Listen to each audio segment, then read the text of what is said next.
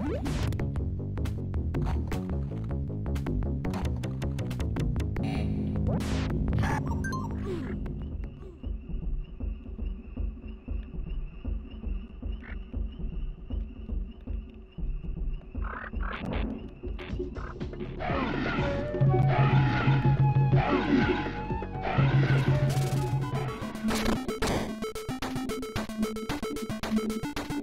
mm -hmm. you.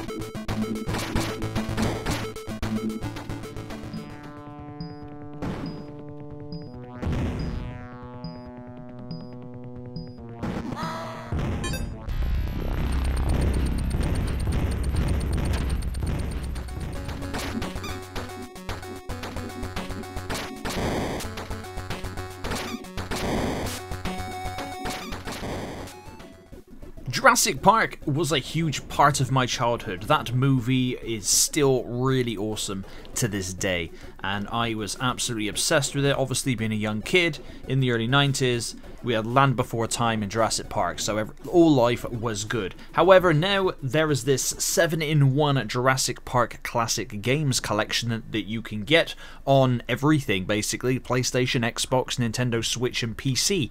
So is it worth uh, is it worth getting? Well, here is where it's a bit of a double-edged sword. I want to say yes because the NES version of Jurassic Park alone was a game I had as a kid and played the ever living crap out of it. However, in terms of a classic collection, obviously probably due to some licensing bollocks, there's not all of the classic Jurassic Park games on here. Uh, unfortunately, I think they should have stretched out and even gotten the Jurassic Park games on the PlayStation 1, um, like The Lost World, and uh, there was a fighting one. What's it called? Jurassic Park Rampage or something? a fighting game where you play as dinosaurs. That was pretty cool. Um, but I reckon they should have stretched out and got that. There's a, I think there's a game or two missing from the Super Nintendo as well. Um, and I'm fairly certain they could have stretched out and got some arcade games um, put on this as well. So, in terms of overall scope, it's not as like widespread as I'd like it to be. Um, you kind of have you have the NES version of Jurassic Park. You have Jurassic Park Part Two: The Chaos Continues. You have Jurassic Park Rampage Edition, which was on the Sega Mega Drive. Um, you get Game Boy versions of those games as well.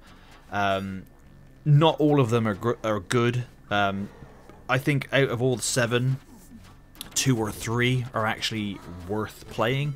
To be honest, unless you're a super fan, um, and for 25 quid is quite steep for what they're offering here. Um, so I would have to say it is worth getting if you're a Jurassic Park fan, but not yet. Um, the game was released a few weeks ago now, um, I, did pick it up relatively when it first came out. I just ha- have had this video on my backlog for a while, but uh, I've been playing through it and trying to do them. There are quality of life improvements as well. Um, uh, that they've put into the game, so you can have save states and in-game maps and uh, you know, you can rewind time and all that kind of stuff. Um, there's also couch co-op, which is pretty cool. You can choose different borders or have no borders at all. Um, there are screen filters, which are kind of standard on retro games, but um, in terms of for what you're getting for what you're paying, I think the price is a little steep for the for the time being. I mean, it could have been worse. They could have released it at 470 quid, and that would have died a death. Um, but yeah, I'd say wait till it's around about a tenner. I think ten pound would have is the sweet spot. I think. Um, just for me personally, I know that sounds a bit odd, and I don't mean that. I mean, some people probably have some massive nostalgia for any one of these games, like I have for the first one on the NES.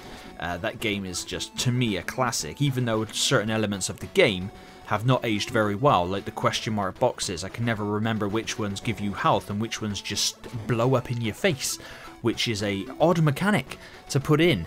Um, especially into a game as hard as the first Jurassic Park game. It is really hard. Um, so is Jurassic Park 2 as well. Uh, the Chaos Continues. That game is like super solid. Um, the Raptors just come out and absolutely savage you.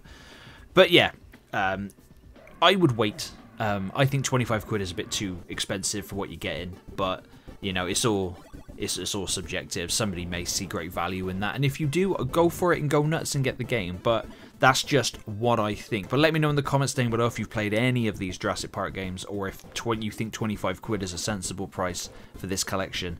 Um, and as always, thank you very much for watching.